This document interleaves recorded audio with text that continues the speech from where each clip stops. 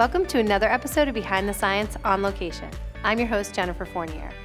Death investigation toxicology, or postmortem toxicology analysis, is critical in cases where drugs or chemicals may have played a role in an individual's death.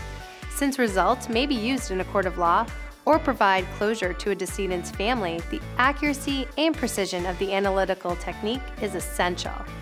The matrix can be the trickiest part. You never know what you will find and have to work with. Is it possible to use one technique to test a variety of different matrices? Let's take a trip to a mock crime scene to see just what we encounter.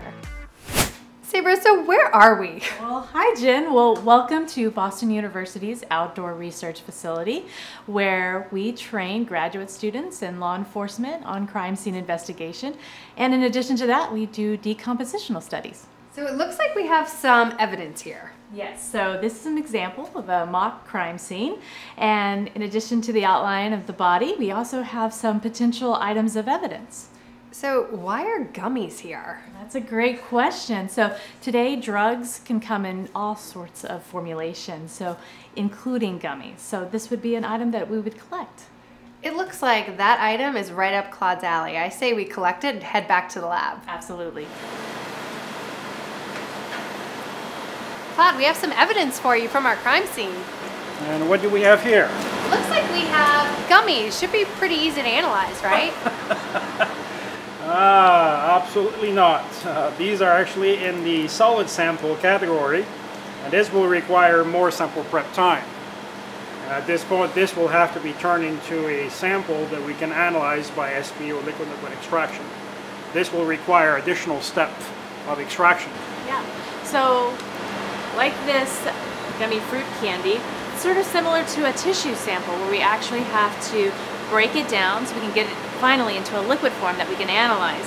So traditionally we do a homogenization step where we um, grind it up with a solvent of some type. That process historically can take anywhere from hours to days. Sounds pretty easy to understand, but let's go to the whiteboard. So let's start with the extraction process. So here you can see that we have gummy bears and we have to get these solid substances into a liquid format and then take it on to an extraction process. So once we homogenize the gummy bears and we get it into a liquid format, we can take and collect the supernatant, dilute it with about 100 mils of millipore water, add 2 mils of formic acid, and then load that onto our solid phase extraction cartridge. And in this application, we use the MAX 150 milligram cartridge. We then perform two wash steps with 2 mils of water with 0.5% ammonium hydroxide, and then a wash step 2 where we take 2 mils of a percentage of methanol with water with 0.5% ammonium hydroxide. We then elute with either 1 mil of methanol with 2% ammonium hydroxide or with 1 mil of methanol with 2% formic acid. At this point, because we're using multidimensional chromatography, there's no need to evaporate our sample. We can take it right on to the instrument. So at times, we actually don't know what drug to target in a biological matrix. Therefore, if we find a substance like this at the scene, either at the scene of a crime or next to a decedent, we can actually analyze the substance, identify what drug we should actually target for the biological matrices.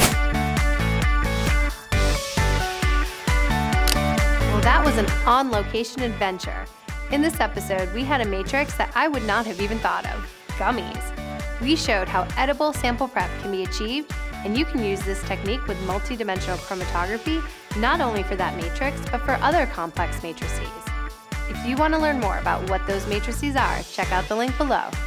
And join us next time for another episode of Behind the Science on Location.